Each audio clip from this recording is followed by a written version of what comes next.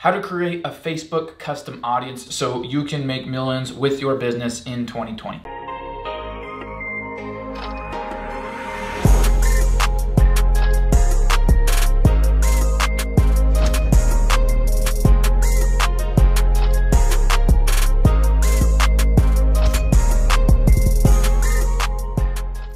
Guys, Ben Oberg here back with another video. I'm gonna talk about Facebook custom audiences because it's very important to use Facebook custom audiences to scale an online brand. We're gonna be talking about lookalike audiences, Facebook custom audiences, how you can use your email list, Instagram profile visits, and then you have a whole bunch of engagement features that you can retarget. Now, who is this for? This is for those of you, I just stepped on something extremely sharp. This is for those of you that wanna smash that like button right now. This is also, do it. This is also for those of you that have an e-commerce business, you're a brick and mortar, and you're trying to figure out the Facebook ads world. Reality is you probably have people that are looking at your content, visiting your website, opting into your sales funnels, visiting your store, looking at your Instagram profile, engaging on your social media, and you don't even realize that you have a huge giant audience that you can market to, create an ROI from, and be able to scale your business. So if you're brick and mortar, if you're an e-commerce, if you are a coach, you have a digital, a physical product, you're an affiliate marketer, you wanna use Facebook custom audiences, you wanna use lookalike audiences, you wanna be leveraging that email list, you wanna be retargeting your social media engagement and visits, and you wanna be able to create an infinite amount of audiences where you can have a higher ROI. So in this video, I'm gonna be sharing with you all of that and later on in this video, I'm going to be screen sharing with you how to actually create these. I'm gonna show you on the board now. I'm gonna show you how to create these inside the Facebook Business Manager. I'm gonna itch my leg also. And I'm gonna talk to you guys about, out of all this, which ones are the highest ROI for me, which ones I make the most money from. All in this video, so pens out, papers out, coffee drank, drunk, whatever you, how would you say, is it drank, drunk, what is it? Drunk? Drunk? Coffee drunk. Mm, that's great for my Invisalign, which is right here and now brown. So brown tooth guy's gonna talk to you about Facebook custom audiences. First of all, custom audiences. What this means is you can basically upload your own audience. So for example, if you have an email list, you can literally upload that email list to Facebook as a custom audience. So that way, any ads that you run only go to Facebook profiles that actually match those emails. So Facebook is gonna measure the emails against hey, is there a Facebook account with this email? And it's gonna market to them, all right? There's just so many beautiful ways you can market with Facebook custom audiences. Now, I had a webinar a little bit earlier today. I was talking about retargeting your Instagram engagement because the reality is, say for example, you have just 500 followers, which a lot of you guys probably watching this video have 500 followers, maybe you have 5,000, maybe you have 10, maybe you have 100,000 followers on Instagram. Cool thing is, out of these 500 followers, let's just say that you get like 50 likes per post, about 10% engagement. Out of those 50 likes, you might only have one person that is actually following you, but you have like 1,000 people that are leaving an impression on this particular post. Out of that 1,000, 999 didn't follow you, and 950 didn't actually engage. You can retarget all of this engagement, place ads right in front of them, and turn them into followers or money. You can even create custom audiences based off of the type of people that engage on your Instagram profile, and then from there, you can purify them even further. Let me give you an example of that. Say I have 500 followers, and out of those 500 followers, the country of India engages on my profile the most. A lot of times you find that India has a lot of people that engage on profiles, especially travel, luxury, motivation, quote accounts, entrepreneur accounts. But most people in India that are engaging don't actually have the money to buy the products or services that you are selling. So when you create a lookalike audience with with the people that engage on your Instagram profile, you wanna be able to have exclusions. This is why it's so beautiful, the type of audiences that you can create. And, and if I'm getting ahead, if you're like, okay, I'm lost, don't worry. I'm gonna break this all down and screen share with you just in a second so you can learn lookalike audiences and how to make a Facebook custom audience. The problem is that if India is your number one engager on your Instagram profile, but they don't buy your products or services, when you create an audience to retarget based off of Instagram profile visits, you don't want it to go, okay, well, the most people that engage are from India, so we're gonna run ads to them. You wanna be able to exclude that. So you can create a custom audience based off of Instagram profile visits you can retarget those people, but then once you create that audience, you can go, okay, but uh, I only want to target USA, and I only want to target people from the age range of 25 to 44, and I only want to target them if they have this interest, this interest, and this interest.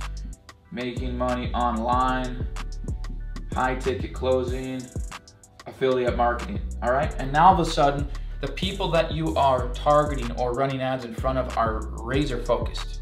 All right, they're the most likely to do business with you, the most likely to follow you, the most likely to click your links, etc. So that's a really beautiful way that you can use Facebook custom audience to retarget Instagram profile visits. And you, the only way you have to do that, the only way you can do it is if you have a creator account or a business account. So make sure you're not using a personal account. If you have a personal account, you want to be able to use Facebook custom audiences to retarget Instagram profile visits, definitely make sure that you change that account to a business or a creator account so you actually have the luxury to do this, okay? Hey, what I wanna know really quick in the comments is let me know, have you ever used Facebook custom audiences or lookalike audiences? I'd love to know in the comments below. If you can include that below in this video, I reply to every single one of my comments. I wanna help you be able to leverage your online brand and be able to create a higher ROI. Whether you're an influencer, you're in e-commerce, you're in the fashion industry, you're a blogger, you have a brick and mortar business, you're an attorney, a doctor, lawyer, engineer, doesn't matter. I wanna help you with this. So please let me know in the comments have you used a Facebook lookalike audience or a Facebook custom audience before? All right. So in a second, I'm gonna screen share with you. I'll get into the email list stuff. I'll go deeper into the Instagram profile visits. I'll show you what else you can do with Facebook custom audiences. But then there's this really uh, cool other thing. It's called look-alike audiences. And this is something that I can explain very well, very easy, and I would suggest you have a pen, piece of paper out, all right? Good stuff. Now with look-alike audiences, what you're telling Facebook is, hey, I want you to create an audience similar to people that have visited my website, to people that have watched 95% of this video that I posted, to people that have added a product of mine to cart, to people that have done some level of engagement on my website, initiated checkout, maybe purchased a product or service from you. And what you're telling Facebook is, hey, out of the 2.7 billion people on Facebook, can you give me an audience that is most similar, based on the data that you have, Facebook, is most similar to the 500 people that bought this pen from me on my website? And now Facebook looks through the depths, the archives of Facebook and Instagram and goes, who out of the 2.7 billion people can we give you that are most similar to the people that have already bought this dry erase low odor chisel USA Expo pen. And you have to realize that Facebook is saying, hey, here's the people that we have data on that are most targeted, most similar to the people that have already done business with you buying this blue dry erase expo pen, all right? So that's very valuable. Now, there's some rules to this, okay? As you can imagine, if somebody bought this pen and this pen, and this pen, and this pen, and this pen. And we had five buyers, okay? Five buyers of the same pen. That is not as much data as if we had 500 people that bought all of these pens. So the more of an audience that we have developed for Facebook to create a lookalike audience off of, the more accurate that lookalike audience is gonna be. So with that said, you do not want to create lookalike audiences until you have enough data to give Facebook to create a lookalike audience from. Facebook will allow you to create a lookalike audience off of just 100 people. You do not want to do that. Big fat no on that. You want to create a lookalike audience when you have at least 500 actions. Okay? Now here's what I want you to write down in order. I've listed them out here. Here's your order of actions. You have you have view video or video views. I'm sorry. You have video views, okay? You can retarget people that watch a certain percentage of your video. So for example, you can retarget uh, people that watch 50% or more, you can retarget 75, you can retarget 95, you can retarget 100, okay? Obviously, the higher the number, the better, all right? The people that watch 95% or 100% of your video compared to people that left halfway through are a little bit more interested in whatever that was, even if they didn't buy, even if they didn't go onto your website, okay? So that's your first area of creating a Facebook lookalike audience is video view, okay? Your next is view content. This is essentially website visits. So for example, if you're promoting a product or a service or sending people into your sales funnel and you get 500 people that didn't just view your video ad that you ran to get people to your site, but actually landed on your landing page or your product page, okay? As soon as you get 500 people or here, this is an even harder audience to create a lookalike audience off of, okay? But if you keep running ads, you keep spending money, and all of a sudden you get to 500 add to carts. This is even harder. You'd want to create a lookalike audience off of your 500 add to carts. You're basically working your way down to the pinnacle, the best type of lookalike audience that you can create. When you get to 500 initiate checkouts, for example, so people started adding payment info, they went from the cart to actually the you know order page where they're putting in their shipping information, their billing address, all that good stuff. You want to create a lookalike audience as soon as you get to 500 initiate checkouts of a product. Not you don't want to do like 500. You know, you've got 500 add to carts of all 236 of your products combined. This is most accurate when you can go Facebook. There's 500 people that have initiated checkout on let's say it's product X. Great, that's gold. Ultimately, what you're working your way to is if you can get 500 sales of product X, you want to create a lookalike audience based off of that. Because now what you're telling Facebook is they didn't just like view a video 95%. You start there if that's the biggest engagement group you have of 500 actions or more. And then as you get to view content, as you get to add to cart, okay, now you want to create that audience market to, create this audience market to. This is the holy grail right here. When you can tell Facebook, look, I have got 500 people that have actually purchased product X, and I want to create a lookalike audience based off of that. That's beautiful. This is where you can tell Facebook, give me the top 1% of people most similar to those that have bought this product from me in the last 30 days, and located in the USA. Then you can do the same thing top 1% Europe, for example. Okay? You can do the top 1 through 10% because maybe this audience isn't like big enough, okay? Maybe the top 1% of people most similar to the people that have bought this product X from you in the USA in the last 30 days here, maybe this audience is only 1 million in size and you could actually burn through that pretty quickly with a decent amount of ad spend. So maybe you want to actually create an audience that is the top, uh, let's just say the top um, 1 through 3%. And maybe this audience size is 5 million. A little bit more people to market to, okay? So the top 3% of people most similar to the 500 purchasers of product X. And you can create a Facebook lookalike audience based off of that. It's so infinitely powerful. And if you do that, that is where you can create a substantial amount of ROI. It all happens with Facebook lookalike audiences and Facebook custom audience, okay? Now what I'm gonna do is I'm gonna screen share with you how do you actually create a Facebook custom audience, all right? Hopefully if you love this video so far, you're finding tons of value in it. Make sure you smash that like button make sure if you know anybody that could really benefit from this, share this out there with them, all right? There's plenty of room for you to succeed and you don't have to compete with other people. I'm gonna pull up a chair here. So you're gonna go into your Facebook Business Manager, of course, and then you wanna go over to audiences. I'll show you how this all looks, okay?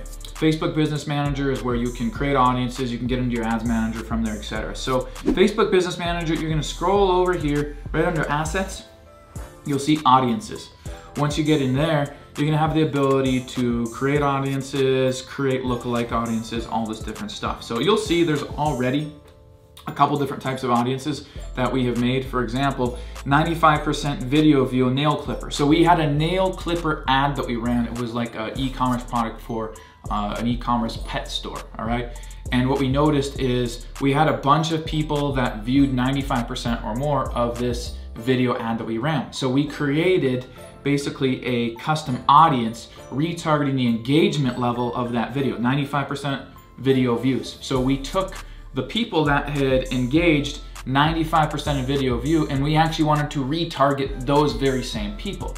We could create a lookalike audience and tell Facebook, hey, create a lookalike audience off of the people most similar to those that watch 95% of this video or more. So we can actually create an audience to retarget all those people that watched 95% of that video. Or we can create a custom audience where we want to have a lookalike, basically, of people similar to those that viewed 95% of that video or more. So when you create audiences, they're all gonna get listed in here. You go to create audience and then you'll have custom, you'll have lookalike. So in the lookalike category, if we go here, what we can do is select a data source. You're gonna want a Facebook pixel, so that way it can have actually something to create a lookalike audience off of. So I'll select Facebook pixel, and then it says, do you want to create a lookalike audience based off of purchases? Obviously, once again, that is the holy grail for lookalike audiences. If you don't have enough there, you can click other event with value, and then view content, add to cart, initiate checkout, add payment info, okay? That would be the order prior to purchase, right? So view content as a website visit. If you have 500 people or more that viewed the product page for this particular product, you start there. If you already have 500 people or more that added to cart, you're gonna start there on that particular product. If you have 500 people or more that initiated checkout on that particular product, you're gonna start there. If they actually went past initiate checkout, added payment info, but didn't purchase, you're gonna start there. The hotter, the better, all right? Because they're closer to buying. Purchase, holy grail. So I would click add to cart. It's gonna tell me that I've got 91 unique customers here. I want to have at least 500, all right? I wanna have at least 500 here. Facebook will allow you to create an audience based off of just 100, but the more data I get it, the more accurate that lookalike audience is gonna be.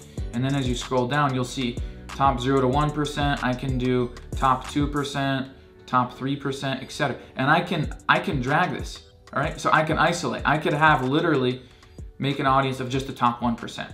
I could merge it together, do zero to 3%, whatever. I like to isolate because I want to find where's the most money in these audiences. So I'm going to do 0 to 1% audience. I'm going to do a 1 to 2%, a 2 to 3%, maybe a 3 to 5%.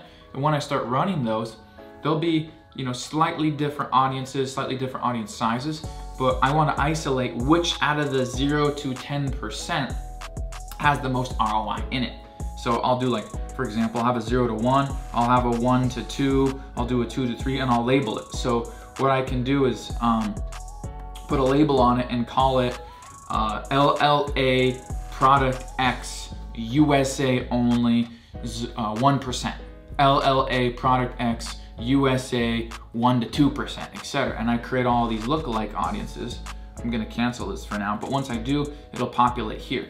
Then when I go to create my ad, at the ad set level, it'll say, hey, what's, what, what's your targeting? Who do you wanna target? And I'll just click custom audience or saved audience, and I'll choose my LLA Product X top 1% USA. And then I'll make my ads, boom. And then I'll go back, I'll choose LLA 1 to 2% uh, Product X USA only, boom, all right? Now in the custom audiences, I love this part, all right? Facebook custom audience. I can use website, I can use a customer list. So when we talk about an email list, if I have an email list and I've got 500 or 5,000 or 100,000 email subscribers. I'm gonna download that to a CSV file. You'll be able to do that with any type of autoresponder. I'm gonna upload it to Facebook here. And Facebook will cross-reference it against Facebook accounts made with that email. So maybe you give it 100,000 people and it finds that there's 86,000 Facebook accounts with that, all right? Now I have an audience of 86,000 I can market to. So it's a way of just getting back out in front of the people that have already opted into your funnels before, but maybe they're not opening your emails. Maybe they're reading them, but they're not clicking through. It's another angle to get more sales and achieve a higher ROI, okay? And then there's Instagram business profile. I love this. So I can click Instagram business profile and then I'll be able to choose my Instagram account and I can do everyone who engaged with my business profile in the last XYZ amount of days. I can do people who saved any post or ad, people who engaged with any post or ad, people who sent a message to your business profile. I like to do trailing seven day audiences and trailing 30 day because the people that engaged 12 months ago might not be engaged anymore or I'm not as memorable to them. So when I run ads to people that have engaged in the last 30 days or something like that, a little bit more memorable, a little bit more likely for them to follow my call to action and for me to be able to turn them into a follower, a sale, whatever the case may be. So I love the ability to do this with Facebook custom audiences. Works really well. You label it, boom, done. Really great way to do that. And then the other way, create audience, Facebook custom audience, and then events. This is really cool. Like for example, let's say that you're a fan of Jay-Z and Jay-Z just had a tour. Like for example, when he released the 444 album, I was at uh, one of the first concerts that he did for that, where he released the 444 album and he came out with his own like uh, version of Spotify, basically. Put all his music on there. Well, if I am a musician and I'm similar to Jay Z, and I know that his audience is similar to the kind of people that buy my tickets, what I could do is I could create an audience of people that Facebook knows have expressed an interest with attending the Jay Z 444 tour, all right?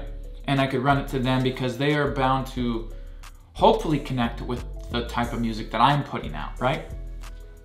Now I can do the same thing for what if that event already happened? If Jay-Z's running ads, Jay-Z's billionaire, okay, he runs ads, and Jay-Z has created a sales funnel or a website that pixeled when he spent money on ads, he spent X amount, how many of them turned into ticket sales. Facebook knows who bought those tickets.